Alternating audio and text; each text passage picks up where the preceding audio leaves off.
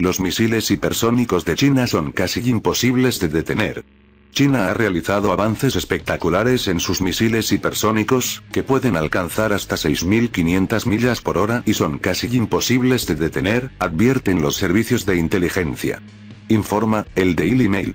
China ha diseñado armas letales para destruir portaaviones enemigos.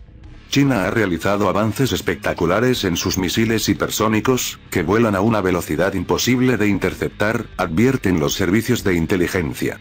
El DF-17 y su sucesor, el DF-27, alcanzan velocidades cercanas a los 10.000 km por hora y son casi imposibles de detener.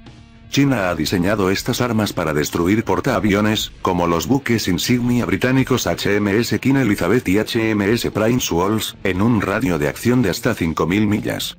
El Reino Unido, Australia y Estados Unidos, que formaron la alianza AUKUS, buscan frenéticamente algún tipo de medidas preventivas.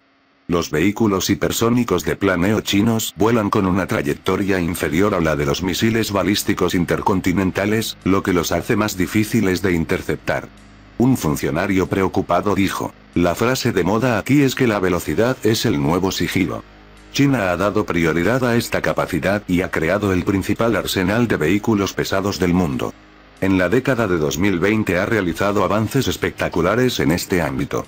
Contrarrestar esta amenaza es una prioridad para AUKUS. Contrarrestar el mecanismo de lanzamiento, que dispara el misil, es más eficaz que contrarrestar el misil en sí. Tendríamos que atacar las bases y los sistemas de lanzamiento.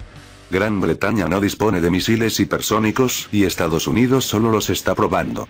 Rusia ha estado utilizando varias versiones sofisticadas de misiles hipersónicos durante el conflicto de Ucrania.